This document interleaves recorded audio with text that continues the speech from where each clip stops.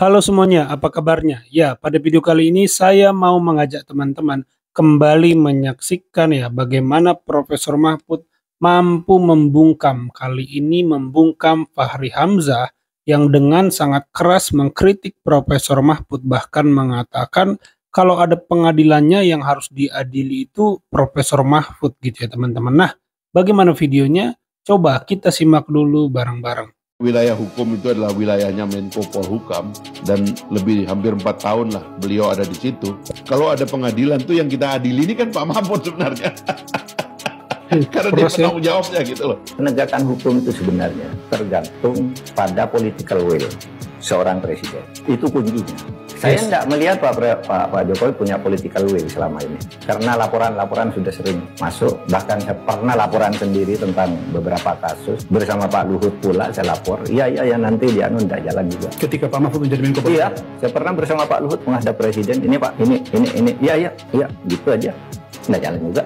Pak Jokowi hmm. tulus ingin Pak Mahfud membenahi politik, membenahi hukum, keamanan, HAM, semua dan dalam empat tahun bekerja tidak ada komplain tentang Pak Jokowi. Betul. Masa seorang guru besar mantan ketua Mahkamah Konstitusi Republik Indonesia tidak tahu apa yang terjadi di depan mata dia.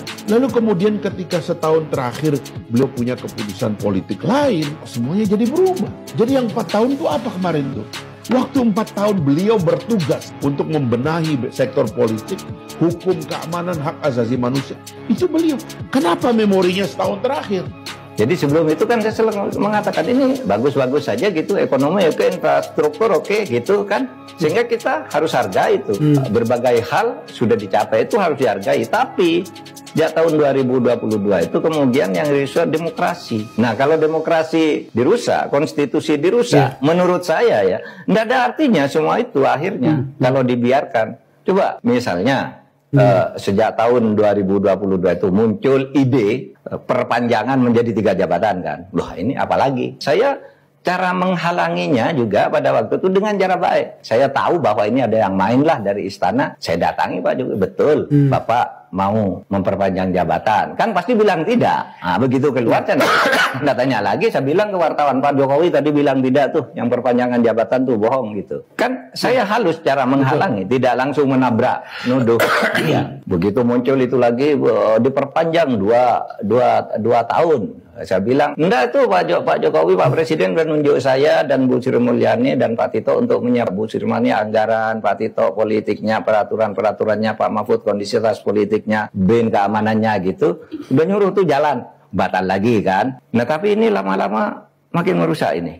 Ya kan, sesudah tidak jadi dua tahun, kemudian tentu tidak dikatakan sendiri oleh Pak Pak Jokowi, oleh orang-orang yang yeah. yang bekerja untuk dia. Yeah. Sekarang Gibran kan gitu kan. Secara politik orang tahu bahwa itu Pak Jokowi hmm. yang mau, yang bicara yang bicara orang lain ya, bawa ke pengadilan orang lain gitu. Oke, itu terus jalan. Yeah sehingga pada akhirnya yaitu saya tidak bisa berada pada tempo dengan menjelaskan secara baik, secara halus seperti biasanya. Ini harus keras karena meminjam istilahnya hmm. si Dedi Sitorus. Orang kayak gini harus dilawan kayak gini juga katanya. Lebih seorang gila kamu lawannya dengan cara waras. Orang gila lawan dengan gila juga. Itulah tempo saya naikkan. Ya, iya demi Republik. Ya. Sehingga kalau anda tanya apa, anda ada jasanya Pak Jokowi banyak sampai saya meyakini sampai tahun 2022 itu. Saya mohon maaf ya, termasuk Pak Mahfud yang Anda bilang tadi kok kayak begitu ngomongnya. Kenapa kita nggak memikirkan sesuatu yang lebih agung daripada itu?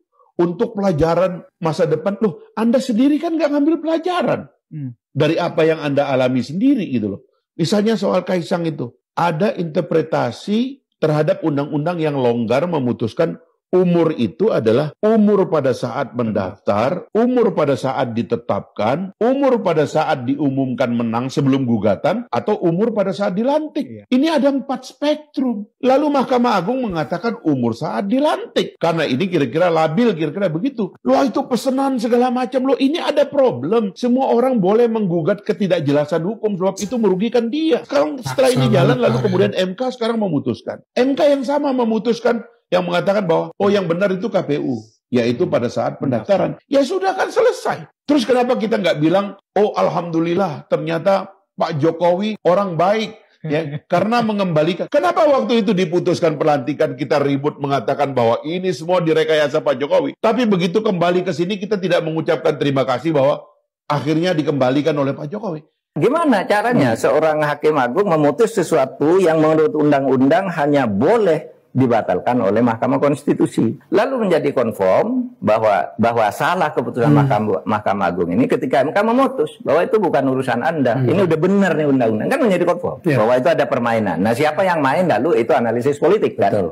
Dia bisa nunjuk orang begitu, tapi analisis politik itu memungkinkan karena yang paling hmm. berkepentingan di situ memang keluarga Pak Jokowi. Bahkan si Kaisang bilang, yeah. oh saya siap calon, kan gitu kan. Bahkan sebelum diberitakan uh, pergi ke dengan apa namanya private jet ke Amerika, Amerika itu yeah. kan dia masih mau deklarasi di, di Jawa Tengah, di Jawa Tengah kan, ya. siap deklarasi. Nah sebelum itu lagi hmm. dia sudah menyatakan, saya siap menjadi calon baik melawan Ridwan Kamil maupun melawan Anies untuk Jakarta. Oh, masih ada tuh rekamannya semua. Yeah. Artinya dia yeah, yang betul. berkepentingan dengan itu semua. Maka saya bilang Waduh, ini sudah parah. Sehingga saya meningkatkan tensi saya. Saya ini harus lebih belak-belakan hmm. bahwa ini permainan. Ya, permainan yang yang uh, sudah di, menjadi pergunjingan orang, tapi pura-pura tidak dengar kan? Ya, karena ya. karena belakangan Pak orang melihat kok Prof Mahfud begitu sekarang ya. ya. Dulu termasuk orang yang selalu mengapresiasi Pak Jokowi begini-begini, tapi kok apa karena dia kalah pilpres bukan karena itu ya? Buat Enggak. buat anda sama teman-teman kan saya meyakinkan dulu hmm. publik saya menerima kekalahan ini begitu difonis saya menerima kekalahan ini ke mana-mana hmm. saya bilang sudah Pak Prabowo menang yeah. Gibran sudah gitu kan itu untuk meyakinkan publik dulu bahwa yeah. secara hukum saya sudah oke okay. tapi sekarang sebagai warga negara saya melihat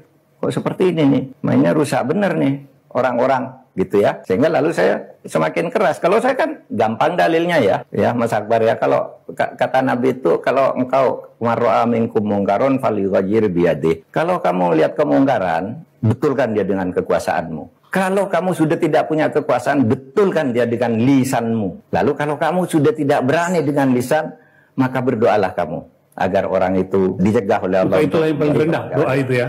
Nah saya, saya ini ambil yang kedua ini, saya lisan. Lisan pakai nada netral tidak didengar, keras saja sekalian, iya kan? Hmm. Iya. keras saja sekalian. Ya. Kan saya nothing tulus kan? Saya ilan apa? Saya lawan. Ini untuk masyarakat. Ya itu ya teman-teman kritik keras Fahri Hamzah untuk Profesor Mahfud. Padahal dulu Fahri Hamzah ini kita tahu pengkritik keras Presiden Jokowi ya, entah mungkin ada kepentingan atau apa yang mengubah perspektif atau pilihannya sehingga belakangan tuh dia sangat getol mendukung Presiden Jokowi. Ya kalau dipikir-pikir ya mudah sih karena Pak Hamzah ini kan mendukung Prabowo. Pak Jokowi mendukung Pak Prabowo ya otomatis dia pun mendukung uh, Pak Jokowi. Jadi kepentingannya itu ya teman-teman. Jadi satu tujuan ya pasti saling mendukung ya teman-teman di sini. Tapi Pak Profesor Mahfud dengan sangat baik menjelaskan tadi ada kita mendengar political will. Artinya dibutuhkan political will uh, di level presiden kalau mau hukum itu tegak dan negara ini bersih. Tidak bisa di level Menko ya di level menteri. Benar-benar harus di level presiden political willnya agar negara ini bersih. Jadi Profesor Mahfud juga mengatakan terpaksa dia menaikkan tensinya karena ngomong biasa tuh nggak didengarkan. Ya jadi ya mau nggak mau harus naikkan tensinya. Karena ya Profesor Mahfud berkata ya mungkin ya yang saya tangkap lebih mencintai Republik lah ya lebih mencintai Indonesia dibandingkan uh, hanya mencintai figur atau sosok saja. Karena bagaimanapun Indonesia ini sangat besar dan lebih besar dari siapa pun ya teman-teman tokoh yang ada. Karena ya uh, Indonesia ini sudah diperjuangkan, dimerdekakan oleh para pahlawan-pahlawan kita. Jadi di sini mungkin jiwanya itu ya, jiwa Profesor Mahfud seperti itu ingin menjaga Indonesia. Ya itu sedikit mm, reaksi saya. Kalau menurut teman-teman bagaimana coba tulis di kolom komentar. Itu saja video kali ini. Terima kasih buat teman-teman yang sudah menyimak sampai selesai. Sampai jumpa di video saya selanjutnya.